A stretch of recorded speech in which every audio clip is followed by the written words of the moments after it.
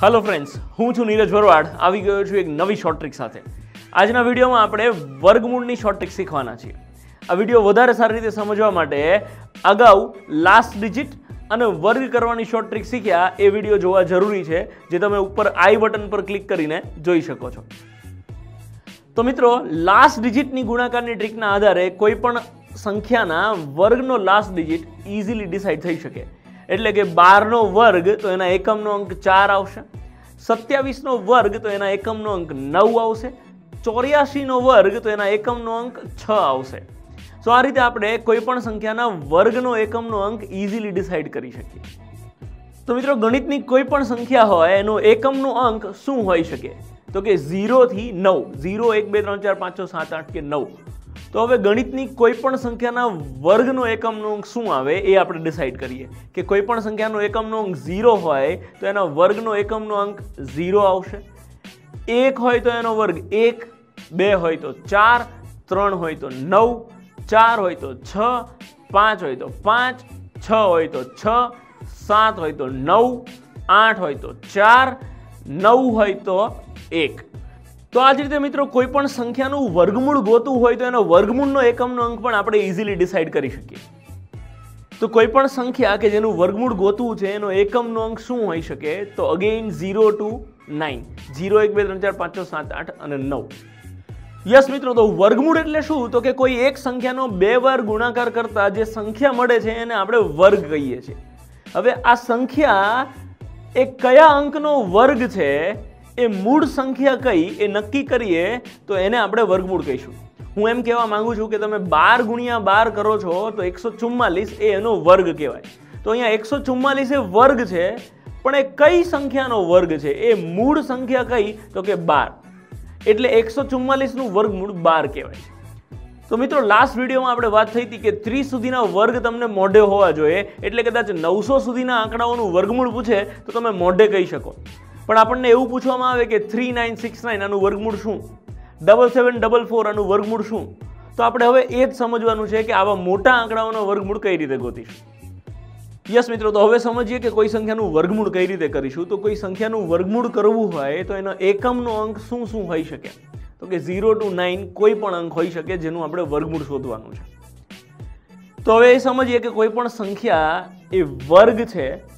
એનો એકમનો અંક ઝીરો હોય તો એનો વર્ગમૂળનો એકમનો અંક શું હશે?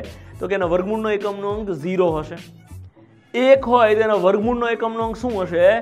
તો કે એક ગુણ્યા એક કરો તોય એક આવે છે અને નવ ગુણ્યા નવ કરો છો તો પણ એક આવે છે. એટલે એક એકું એક અને ઇવન નેવે નેવે એક્યાસી તો પણ એનો લાસ્ટ ડિજિટ એક આવે છે. બે હોય તો? મિત્રો, કઈ સંખ્યાનો બે વાર ગુણાકાર કરતા બે આવે? તો કે ક્યારેય પોસિબલ નથી. કોઈ પણ સંખ્યાનો બે વાર ગુણાકાર કરો. તો ક્યારેય એનો એકમનો અંક બે ના હોય. એટલે કે કોઈ પણ સંખ્યાનો વર્ગનો એકમનો અંક બે ના હોય, એટલે જે સંખ્યાનો એકમનો અંક બે હોય, આવી સંખ્યાનું વર્ગમૂળ ક્યારેય નીકળે નહીં. આપણે એવું પણ કહી શકીએ કે આવી સંખ્યા એ પૂર્ણ વર્ગ સંખ્યા કહેવાશે નહીં. એકમનો અંક ત્રણ હોય તો એનું પણ વર્ગમૂળ નહીં નીકળે. ચાર હોય તો બે દુ ચાર અને અઠ્યોઠ્યો ચોસઠ, એટલે એનો એકમનો અંક બે અથવા તો આઠ હશે. પાંચ હોય તો પાંચ છ હોય તો એના વર્ગમૂળનો એકમનો ચાર અથવા તો છ. કેમ કે ચોખ્ખો ચોખ્ખો એ છ થશે, છાંયો છાંયો છ થશે. સાત, તો કે ના મિત્રો, સાત જે સંખ્યાનો એકમનો અંક હશે, એનું વર્ગમૂળ ક્યારેય નીકળે નહીં. આઠ, તો આઠનું પણ વર્ગમૂળ ક્યારેય નીકળશે નહીં. નવ, તો ત્રણ તરી નવ અને સત્ય સત્ય ઓગણપચાસ એટલે પણ નવ થાય. તો આનો એકમનો અંક ત્રણ અથવા તો સાત આવશે. તો મિત્રો, વર્ગમૂળની આ ટ્રીક સમજવા ટેબલ યાદ રાખવું જરૂરી બને છે. આ ટેબલની ટ્રીક એવી છે કે તમને કોઈ એક એકમનો અંક મળી જાય તો બીજો એકમનો અંક આરામથી મળી જશે. કેમ કે બંનેનું ટોટલ તો દસ જ થાય છે. એટલે કે કોઈ સંખ્યા છે, એકમનો અંક ચાર હોય, એનું વર્ગમૂળ શોધવું છે, તો બે દુ ચાર, તો એકમનો અંક એક બે મળી ગયો તો પછી બીજો આઠ જ હોય. ત્રણ હોય તો બીજો સાત જ હોય. ચાર હોય તો છ જ હોય. ત્રણ હોય તો સાત જ હોય. આ રીતે એ વસ્તુ આપણને યાદ રાખવી થોડી ઇઝી રહેશે. તો મિત્રો, ત્રણ સ્ટેપમાં વર્ગમૂળ કરતા શીખીશું. સ્ટેપ નંબર વન એકમનો અંક નક્કી કરો. એક ઉદાહરણ સાથે સમજીએ એટલે વધારે સારી રીતે ખ્યાલ આવશે કે થ્રી નાઇન સિક્સ નાઇન ત્રણ હજાર નવસો ઓગણસિત્તેરનું વર્ગમૂળ શું થશે? તો ત્રણ હજાર નવસો ઓગણસિત્તેરનું વર્ગમૂળ, તો સૌથી પહેલાં એમનો એકમનો અંક નક્કી કરીશું. તો એકમનો અંક ત્રણ અથવા તો સાત હોય. આપણા ટેબલના આધારે મિત્રો એકમનો અંક ત્રણ અથવા તો સાત હશે. તો સેકન્ડ સ્ટેપ શું છે મિત્રો? કે છેલ્લા બે અંક રદ કરી વર્ગ બોલી દશકનો અંક નક્કી કરો.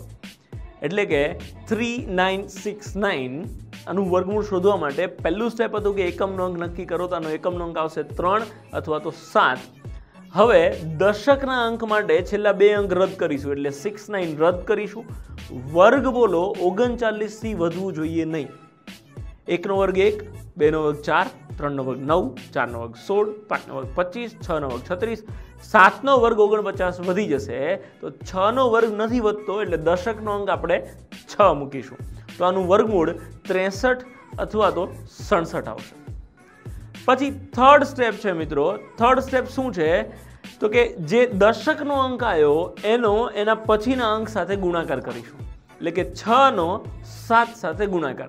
છ સત્તા બેતાલીસ હવે બેતાલીસ કરતાં આપણા વધેલા, પ્રશ્નમાં વધેલા બે આંકડાઓ નાના હોય તો જવાબ નાનો આવશે, મોટા હોય તો જવાબ મોટો આવશે. તો અહીંયા છ સત્તા બેતાલીસ કરતાં થર્ટી નાઇન, ઓગણચાલીસ એ નાના છે, એટલે ત્રેસઠ અને સડસઠમાંથી ત્રેસઠ એ નાની સંખ્યા છે, તો આનું વર્ગમૂળ આવશે સિક્સટી થ્રી.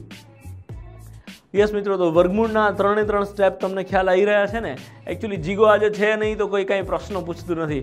જીગા, તારી યાદ બહુ આવે છે જલ્દી આવી જા. તું આવતા લેક્ચરમાંથી ક્લાસમાં આવી જા બકા. આગળ વધીએ મિત્રો, અને બીજા એક એક્ઝામ્પલ સાથે સમજીએ કે સત્યોતેર ચુમ્માલીસનું વર્ગમૂળ. તો સૌથી પહેલું સ્ટેપ છે કે એકમનું અંક નક્કી કરો. તો એકમનો અંક ચાર છે, તો એના વર્ગમૂળના એકમનો અંક બે અથવા તો આઠ આવશે.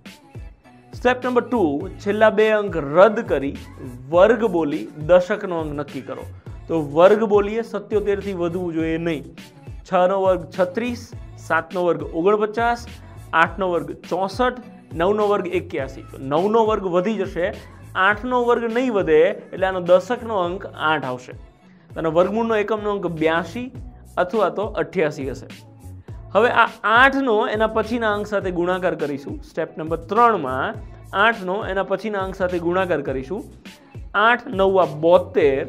બોતેર કરતાં પ્રશ્નમાં આપેલી સંખ્યા સત્યોતેર એ મોટી છે, એટલે જવાબ મોટો આવશે. હજુ એક એક્ઝામ્પલ સમજીએ મિત્રો. છવ્વીસ જીરો એકનું વર્ગમૂળ. તો છવ્વીસ જીરો એકનો એકમનો અંક એક છે, તો એના વર્ગમૂળનો એકમનો અંક એક અથવા તો નવ હશે. સ્ટેપ નંબર ટુ છેલ્લા બે અંક રદ કરી વર્ગ બોલો છવ્વીસથી વધવું જોઈએ નહીં. તો મિત્રો પાંચનો વર્ગ પચીસ અને છનો વર્ગ છત્રીસ એ છવ્વીસ કરતાં વધી જશે, એટલે દશકના અંક તરીકે આપણે પાંચ મૂકીશું. પાંચનો એના પછીના અંક સાથે ગુણાકાર કરીશું. પાંચ છક ત્રીસ. હવે ત્રીસ કરતાં છવ્વીસ નેના છે, એટલે જવાબ નેનો આવશે. એટલે કે એકાવન જવાબ. યસ મિત્રો, તો તમારી પ્રેક્ટિસ માટે કેટલાક એક્ઝામ્પલ્સની પીડીએફ નીચે ડિસ્ક્રિપ્શનમાં આપેલી છે. આ વિડીયોને રિલેટેડ કોઈ પણ પ્રકારનો ડાઉટ કે ક્વેરી હોય તો તમે નીચે કમેન્ટ બોક્સમાં જણાવી શકો છો. હું શ્યોરલી એનો રિપ્લાય આપવાનો પ્રયત્ન કરીશ. યસ મિત્રો, જો તમને મારો આ વીડિયો પસંદ આવ્યો હોય તો આ વિડીયોને લાઇક કરો, તમારા અન્ય મિત્રો સાથે શેર કરો અને આ પ્રકારની ટ્રિક્સ રેગ્યુલર મેળવવા માટે મારી યુટ્યુબ ચેનલ નીરજ ભરવાડને સબસ્ક્રાઇબ કરો. આપણે લોકો મળીએ નેક્સ્ટ શુક્રવારે એક નવી શોર્ટ ટ્રિક સાથે. ત્યાં સુધી ગુડ બાય